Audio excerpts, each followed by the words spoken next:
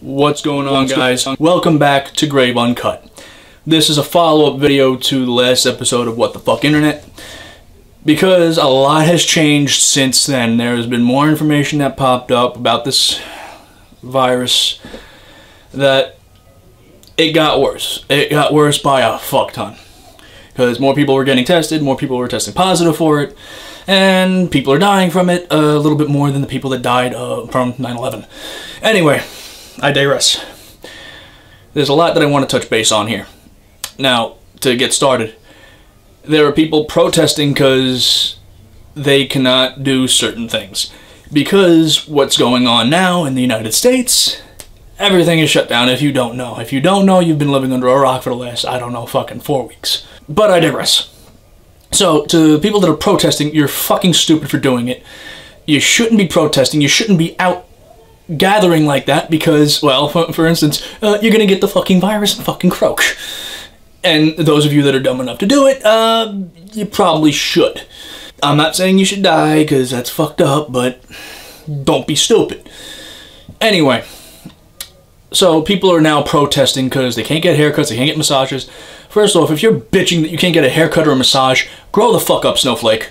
It just fucking annoys the shit out of me because you have people that are fucking dying out there. You got like in the entire United, the world itself, there are there's upwards of about a million people that fucking have the virus, and hundreds of thousands of people that died from the virus.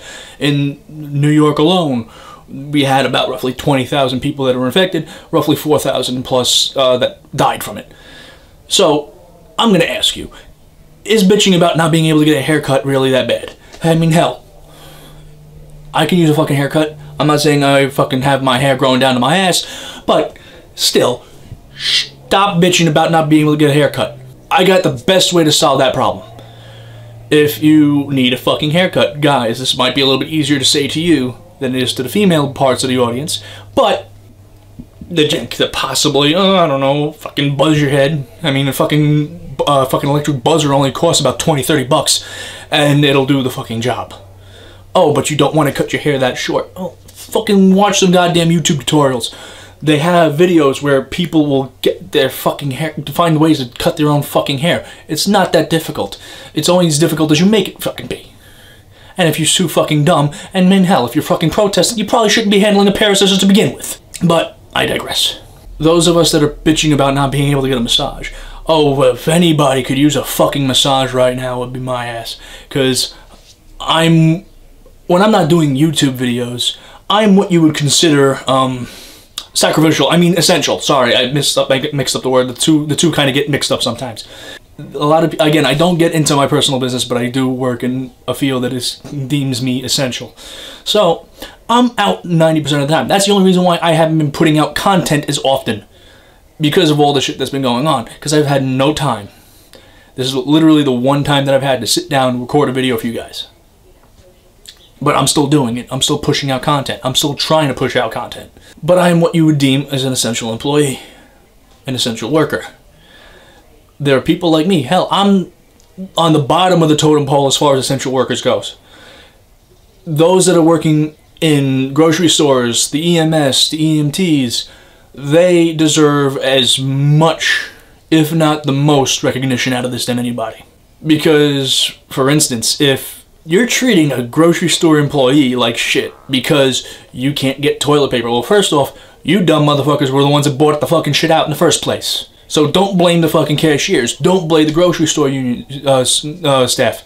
Blame yourself. Because I can assure you, you did not need 3,200 fucking rolls of toilet paper to wipe your fucking ass. For fuck's sake.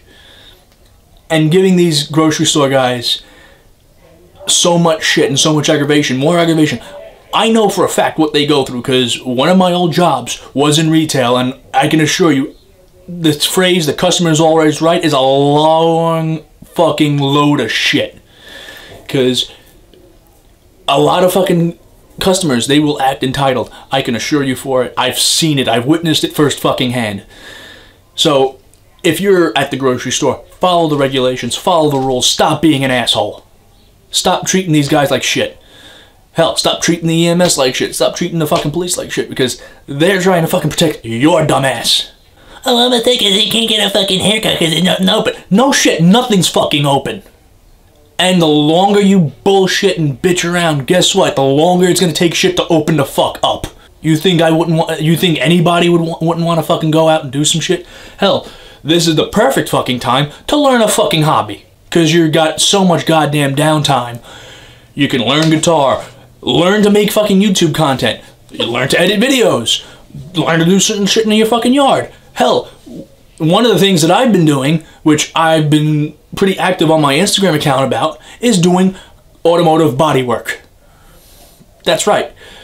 I do car. I'm, I'm a big car fanatic. This is something you'll slowly learn about me at this point. I'm a big car guy, so I'll delve more into that project later on. But as far as everything else, this is the time to learn a skill. This is the time to get off your fucking ass and learn some shit. I can't stress this shit enough.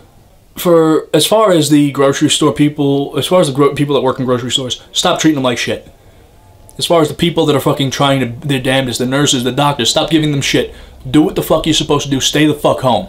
Hell, there's ads on YouTube all over the place. I'm seeing them every 20 seconds. Oh, the Stay Home Initiative. So, um, stay home. That's the biggest thing I can suggest you do. Stay the fuck home.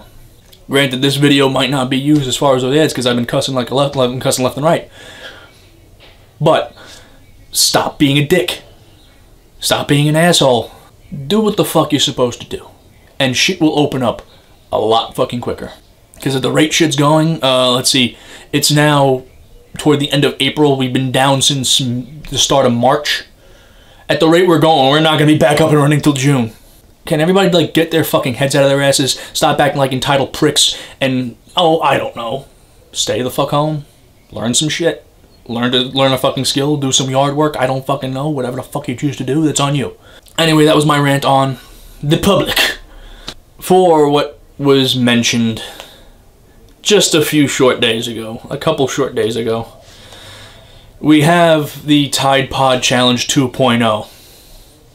If you don't know what I'm talking about, our president, I'm not going to say stated this verbatim, but it is implied that he suggested that certain that's that people inject themselves with disinfectant.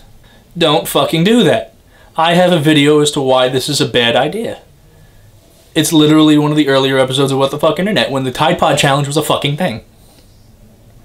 Don't inject yourself with with uh, bleach. Don't inject yourself with disinfectant. Don't bathe in it. Don't drink it. Don't inhale it. Just wait till they come up with something to fucking do. To fucking settle this.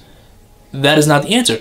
I mean, if, don't get me wrong, and doing so would definitely kill the virus. It would kill you too, but it would kill the virus.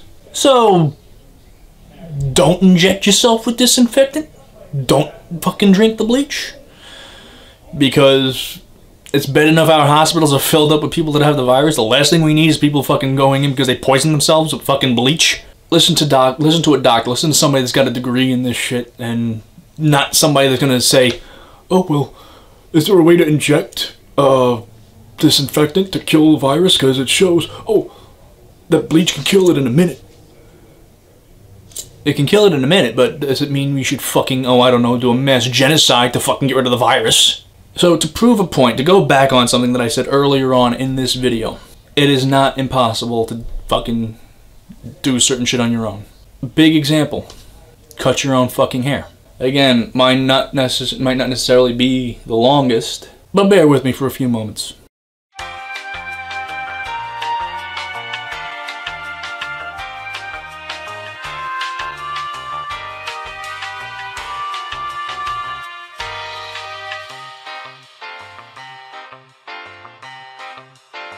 And the haircut is that damn easy. Now, this isn't the exact length that I was gunning for, but it, didn't cost anything, and it could definitely look a hell of a lot fucking worse. Anyway, I want to thank you guys for watching, and I'll see you guys in the next video.